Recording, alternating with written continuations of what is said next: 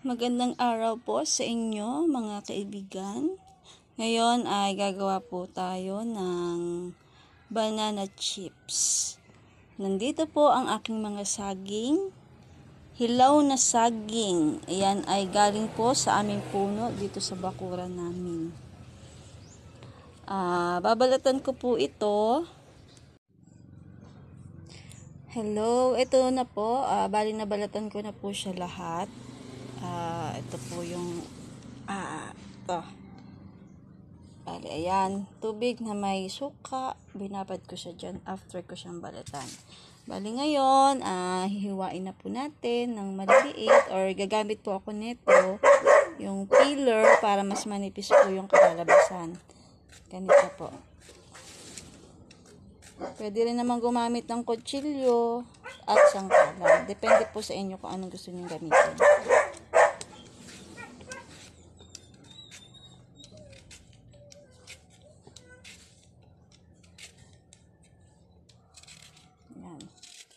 Bali, tatapusin ko lang to hanggang dulo. At mamaya na po ulit yung ibang video. At eto na nga po, bali tapos na po ako maghiwa ng ating banana saba. Maninipis po yan. Bali gumamit na po ako ng sangkalan at matalas na kutsilyo. At ngayon po ay magpiprito na po tayo.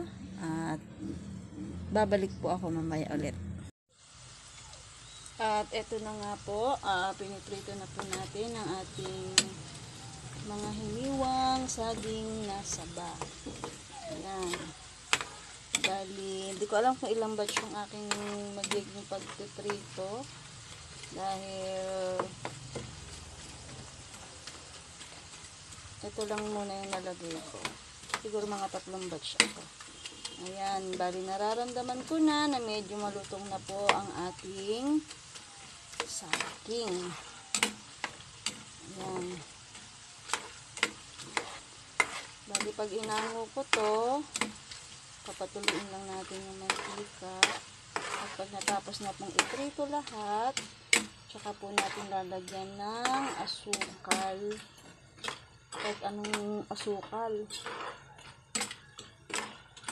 Ang meron ako dito ay asukal na segunda. Ayan. Hanggang mag kulay brown, golden brown. Pwede na natin itong hanguin. Ayan.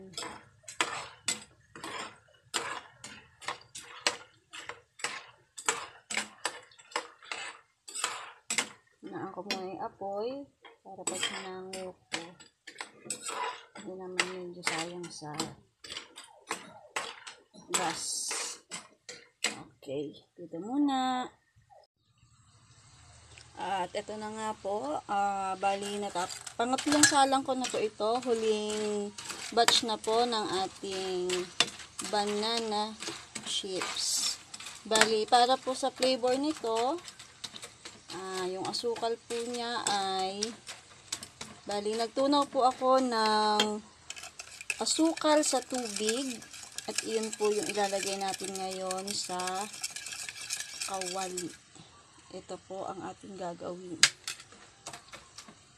Batch by batch po yan.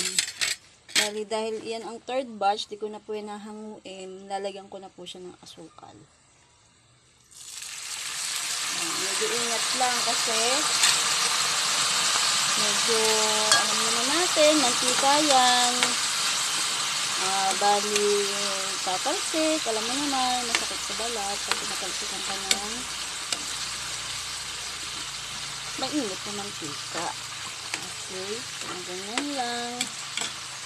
Tapos pag medyo wala na yung ingay ng mantika pwede na siyang manguin at pwede na rin gawin yung second tsaka first batch ko kanina. Ganun lang, gagawin ko lang din ganyan para magkaroon lang din siya ng flavor. Okay. Ayan. Hanguin ko na siya.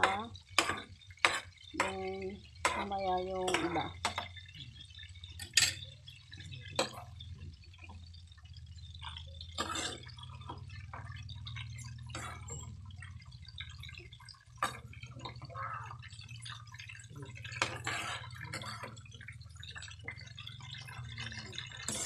Kapal naman yung salaan ko, kaya di naman siya maluluto.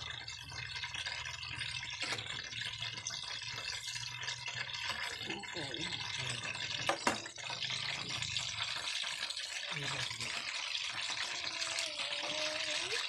So, tapusin ko lang yung ating paglalagay ng asukal. At mamaya, papakita ko sa inyo yung final. Hello! Ito na po ang ating final product. Banana chips. Crispy banana chips.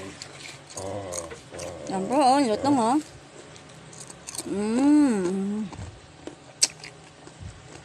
Worth it yung pagod mo. yung aso namin, gutom na, kaya tumatahol. Okay, hanggang dito na lang. Bye-bye.